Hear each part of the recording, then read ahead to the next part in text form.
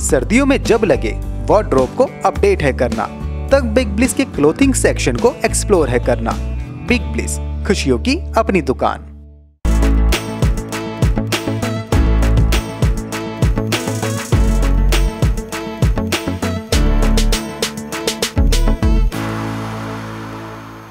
यहीं से रूपा जी बात करें अगर सोयाबीन की। तो सोयाबीन का फरवरी वादा देखने की चौंसठ सौ पर ट्रेड करता नज़र आ रहा है। रूपा जी, काफ़ी समय के बाद देखने की सोयाबीन ने फिर से चौंसठ सौ का लेवल दिखाया है।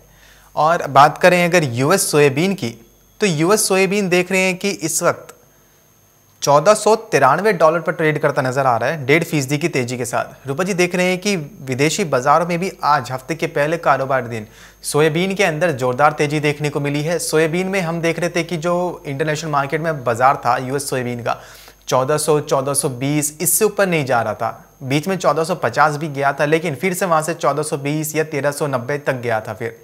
लेकिन आज देख रहे हैं कि 1500 के बेहद करीब है, चौदह डॉलर पर ट्रेड करता नज़र आ रहा है।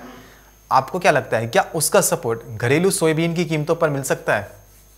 देखिए बिल्कुल जो विदेशी बाजारों में तेज़ी आ रही है उसकी वजह से ही हम देख रहे हैं कि हमारे एडिबल ऑयल मार्केट जो है वो गिरा नहीं है वही सस्टेन है। तो अभी फ़िलहाल जो है उस तेज़ी का असर बिल्कुल डोमेस्टिक मार्केट पर देखने को मिल सकता है और भाव ऊपर में एक्सपेक्टेड है कि एक बार पैंसठ सौ तक जा सकते हैं। जी।